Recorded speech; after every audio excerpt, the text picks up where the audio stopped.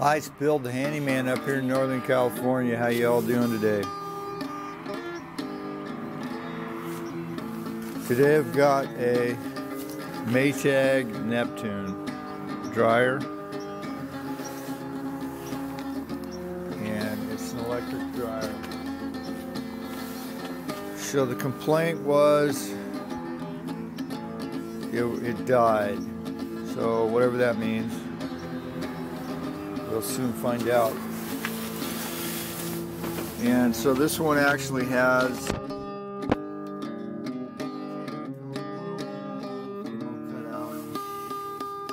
this plastic thing here is the thermal cutout and we'll be testing it here in a minute. We see that the blower is still intact and I did not disconnect any of the wires. I was able to pull the front portion off without disconnecting any of the wires. So the next thing we're going to do is check the thermal cutoff. But before we do that, I'm going to tell you how I got the front cowl off, where the front portion off. Okay, so this front panel here, after you've taken the four screws off the sides and the door, you'll see underneath here there's a clip here that holds the top piece in place. Then there's some other screws along the side here that have to come out in order to take that off. Of course, there's your model number.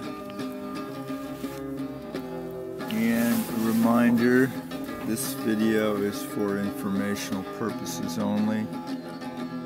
Working on appliances can be hazardous.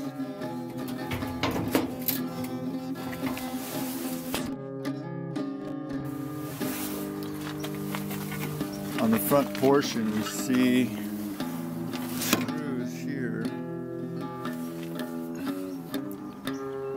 here, here, and on this side we see the screw holes for the hinges for the door.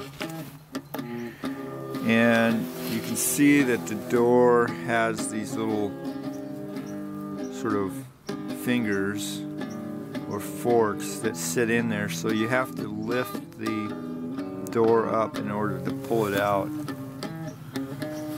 so once you've taken these two these four screws off the front here and then you'll be able to take that front portion off and then once you've taken that off you need to take uh, the screws off the front here and here to take these other pieces off.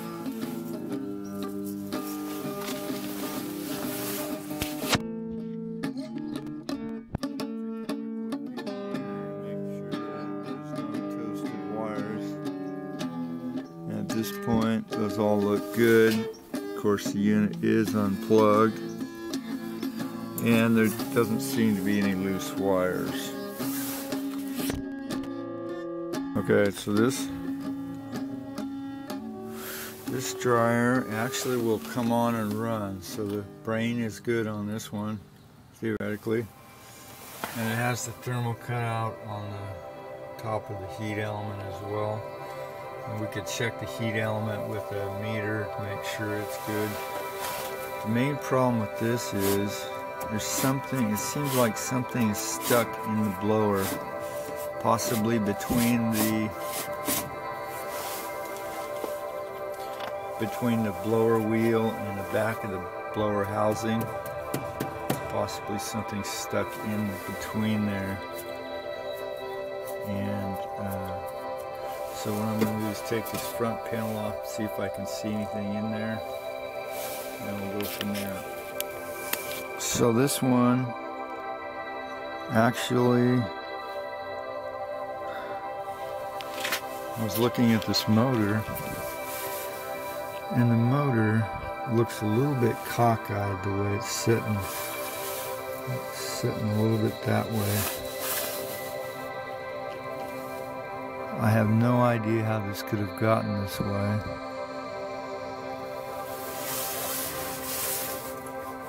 But the problem is, there's nothing behind this.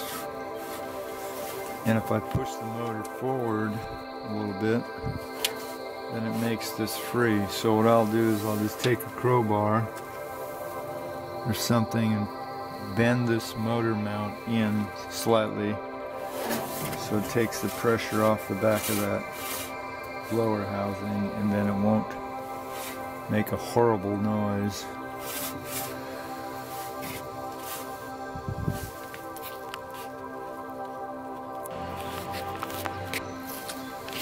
Okay, so just put a little bend in that motor and now the blower sprint spins freely.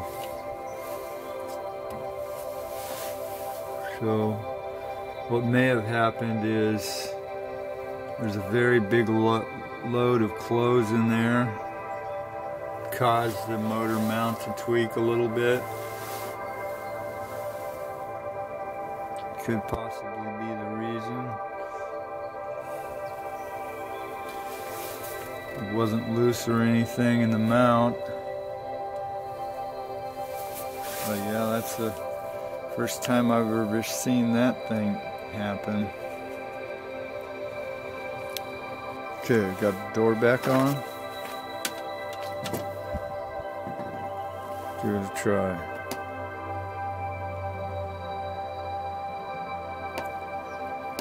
Okay, that's pretty crazy. Now I don't want to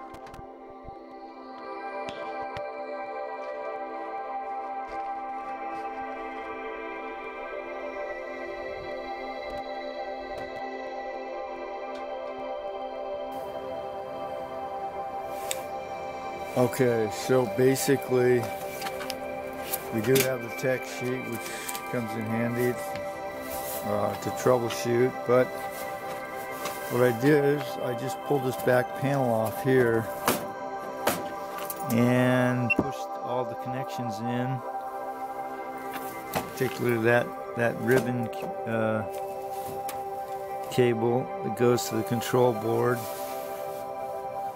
And uh, seemed to work fine. Pop it back together and see if it's going to work again.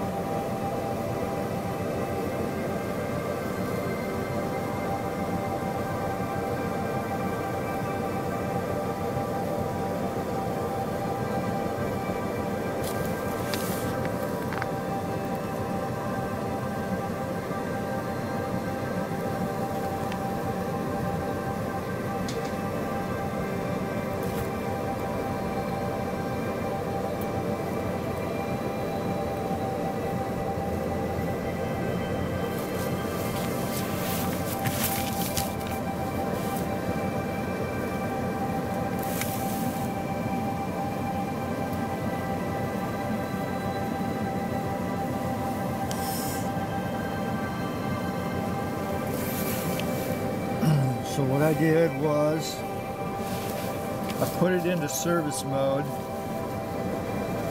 and to try and check these, I don't know what it did, but it the lights started blinking. I couldn't really figure out what was going on, but all the panels, panel lights blinked. And it cleared the time. Now this is uh, little bit odd here because it went from like 30 minutes to one minute here in about two minutes. But anyway, it's working now.